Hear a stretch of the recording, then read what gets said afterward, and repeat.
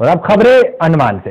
केंद्रीय मानव संसाधन विकास मंत्रालय ने वित्त मंत्रालय की सहमति से अंडमान निकोबार प्रशासन के उस प्रस्ताव को स्वीकार कर लिया है, जिसमें सीसीएस संबोधित नियम 2008 के भाग बी के तहत शिक्षकों की पाँच श्रेणियों के वंचित प्रधानाध्यापकों और शारीरिक व्यायाम शिक्षक व अन्य को बढ़ोतरी वेतन का लाभ दिए जाने का मुद्दा रखा गया था। इस फैसले की जानकारी सरकार की तरफ़ से एनजीओएस एसोसिएशन के पूर्व महासचिव डी, अयप्पन को फ़ोन पर दी गई।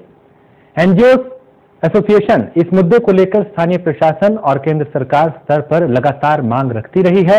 यहाँ गौर करने वाली बात यह है कि साल 2008 में छठवें वेतन आयोग की सिफारिशों के अनुसार पीएसटी जीटीटी और पीजीटी आदि श्रेणियों के शिक्षकों को पार्ट बी के तहत शामिल कर लिया गया था। लेकिन अन्य श्रेणी जैसे हेडमास्टर, शारीरिक विषम पुस्तकालय, अध्यक्ष और शिल्प अनुदेशक आदि के बारे में वेतन आयोग में कुछ स्पष्ट नहीं था, जिसके कारण इन श्रेणी शिक्षक पार्ट बी के तहत लाभ से वंचित थे और वहीं अन्य केंद्र शासित प्रदेशों, केंद्र सरकार के विद्यालयों आदि के इन श्रेणी के शिक्षकों को पार्ट बी के तहत लाभ दिए जा रहे थे, लेकिन अंडमान निकोबार प्रशासन ने इसे नकार दिया था, जिसके बाद संबंधित शिक्षकों में काफ़ी नाराज़गी देखी जा रही थी।